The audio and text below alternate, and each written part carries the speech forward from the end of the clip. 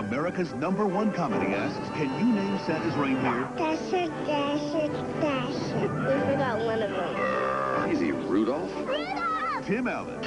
The Santa Clause, rated PG. Now playing.